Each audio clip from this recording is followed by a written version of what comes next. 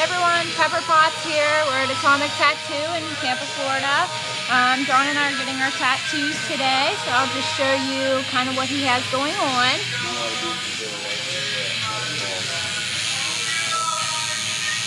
Say hello. Hello.